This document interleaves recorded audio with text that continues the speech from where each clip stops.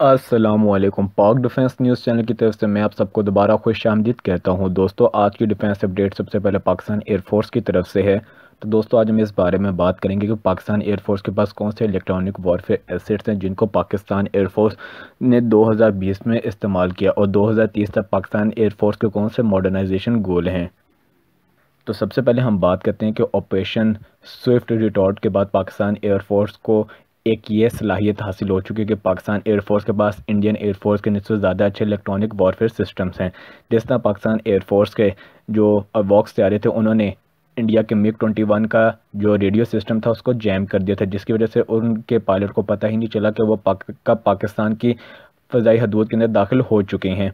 इसके अलावा पाकिस्तान अपने J F seventeen thunder block three और ब्लॉक बी इन दोनों के अंदर फोकस करे ताकि इलेक्ट्रॉनिक वॉरफेयर सिस्टम जो है इनको इंटीग्रेट किया जा सके। और इलेक्ट्रॉनिक कॉन्फर मैयर्स जो हैं वो भी पाकिस्तान एयरफोर्स चाह रही है कि इनके साथ इंटीग्रेट कर सके।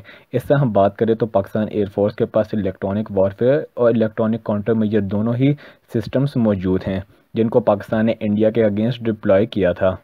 अब हम बात करें तो पाकिस्तान एयरफोर्स ने सताईस फेबररी को फाल्कन ट्वेंटी को यूज़ किया था, जिसने इंडियन एयरफोर्स का जो कम्युनिकेशन सिस्टम है उसको जैम कर दिया था। अब हम बात करें तो इंडियन एयरफोर्स जो है वो इस गैप को ख़त्म करने के लिए इसराइल से रबता कर रही है। अभी भी इस वक्त इंडियन एयरफोर्स के पास लैक ऑफ़ नेटवर्किंग या डेटा लिंकेज सिस्टम है कि वो आपस में जो फाइटर जेट जो कम्युनिकेशन करते हैं, उसको कैसे सिक्योर कर सकें।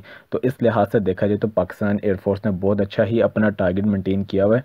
इसके अलावा पाकिस्तान एयरफोर्स की तरफ़ से जो रिडोम्स हैं, वो उनका टेंडर भी निकाला गया। साथ साथ पाकिस्तान एयरफोर्स ने के एल जे सेवन ए जो ए ई एस रेडार है, उसको जे एफ़ सेवेंटी थंडर के लिए सिलेक्ट किया। और साथ साथ पाकिस्तान एयरफोर्स की तरफ़ से next generation fighter jet programme है, वो भी स्टार्ट किया गया है उसके अंदर काफ़ी प्रोग्रेस भी हासिल की जा चुकी है।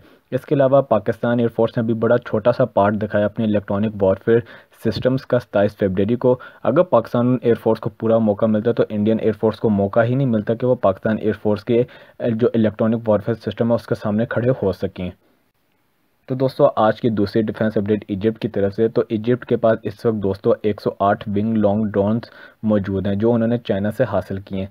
इजिप्ट इन ड्रोन्स को सर्विलेंस के लिए और साथ ही साथ अटैक मिशन के लिए इस्तेमाल करता है और इजिप्शियन एयरफोर्स के पास 108 विंग लॉन्ग टू ड्रोन मौजूद हैं, जिनको उन्होंने दो की तादाद, दो बैचेस की तादाद में हासिल किया है। विंग लॉन्ग ड्रोन है ये अपने साथ 200 किलोग्राम तक का जो एमुनेशन है, उसको लेके जा सकते हैं, उनको फायर कर सकते हैं। इसके साथ साथ इनको चार एक्सटर्नल पॉइंट्स भी दिए गए जिनके साथ ये मुख्तलिफ़ किस्म के बॉम्ब्स को भी कैरी कर सकते हैं। इजिप्शियन एयरफोर्स जो है, उन्होंने इस वक्त अपने पास 76 किस्म के जो विंग लॉन्ग टू ड्रोन है, उनको इंडक्ट किया है और बाकी इजिप्शियन आर्मी के अंदर इस्तेमाल किए जाएँगे और इजिप्शियन एयरफोर्स की तरफ़ से भी इनको इस्तेमाल किया जाएगा। इजिप्ट ने दो हज़ार अठारह में जोहाई एयर शो के दौरान इनको चाइना से हासिल किया था और चाइना की मदद के साथ ही वो इनको अपने मुल्क में हासिल करना शुरू हो गए थे। अब हम बात करें विंग लोन की तो इसकी जो प्राइस है, वो तकरीबन तक 1.8 मिलियन डॉलर के करीब है। अगर इसके साथ फुली तौर पे वो वेपन भी हासिल करे तो ये अमेरिका के मुकाबले में बहुत सस्ते ड्रोन पड़ते हैं और इजिप्ट ने इनको ज़्यादा तादाद में इसलिए हासिल किया ताकि वो दुश्मन की जो टेरिटरी है, उन पर नज़र रख सकें। और पाकिस्तान एयरफोर्स ने भी इसी तरह तकरीबन तक 40 के करीब विंग लॉन्ग टू जो ड्रोन है, उनका ऑर्डर दिया था चाइना को और चाइना की तरफ़ से पाकिस्तान को इसकी टेक्नोलॉजी ट्रांसफ़र भी की जानी है कि पाकिस्तान इनको अपने मुल्क में लोकली कामरा एरोनॉटिकल कम्प्लेक्स में खुद मैन्युफैक्चर करे ताकि पाकिस्तान एयरफोर्स अपने प्रोजेक्ट अजम के अंदर जो मेल यूएवी बना रही है, उसको बनाने का पाकिस्तान को एक्सपीरियंस हासिल हो और पाकिस्तान उनको अपनी मर्ज़ी का जिस तरह मर्ज़ी बनाना चाहे बना सकते हैं। अब हम बात करें तो विंग लॉन्ग टू जो है, हवा में तकरीबन तक छत्तीस घंटे के करीब रह सकता है और इसकी सबसे अच्छी बात यह कि इसका जो इसका जो एल्टीट्यूड है, जिस पे ये रहता है, सबसे ज़्यादा ऊँचा उड़ सकता है, वो बहुत ज़्यादा है। और इजिप्ट की तरफ़ से इन ड्रोन्स में इसलिए इंटरेस्ट दिखाया जाता है इसकी खसूसियात की वजह से और साथ साथ इनकी लो प्राइस होने की वजह से। इसके अलावा हम बात करें तो काफ़ी अरब ममालिक की तरफ़ से जो चाइना के ड्रोन है, उनमें दिलचस्पी दिखाई जा रही है, जिस तरह सऊदिया ने भी दिलचस्पी दिखाई, यूएई की तरफ़ से भी चाइनीज़ में जो ड्रोन है, उनको एक्वायर किया जा रहा है। तो दोस्तों, आज की तीसरी डिफेंस अपडेट इंडिया की तरफ़ से तो यूएस की तरफ़ से दोस्तों इंडिया को टॉर्पीडोज़ और साथ ही साथ हारपून मिज़ाइल जो एंटी शिप मिज़ाइल है, उनको बेचने का ऑर्डर दे दिया गया है और इस डील की कुल मालियत तकरीबन तक 155 मिलियन डॉलर के करीब होने वाली है।